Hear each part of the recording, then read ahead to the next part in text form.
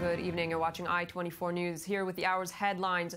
We begin in the West Bank, where a stabbing attack leaves two Israeli females injured, a 23 year old in critical condition, and a 58 year old suffering light injuries in the settlement of Beit Horon.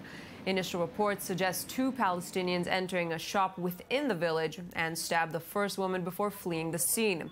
Upon escape, they stabbed another woman and then were shot and killed by security on site. There are also reports of two explosive devices detected in the area. They are now being analyzed by Israeli bomb squads. Earlier, we spoke with I 24 News correspondent Shai Ben Ari on the rare scale of this attack.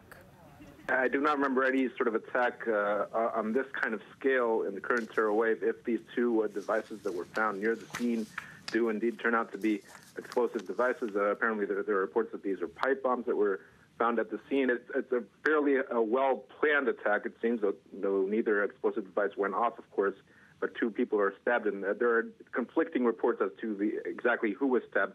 Uh, some reports speak of two women, one in her 40s and one in her 50s.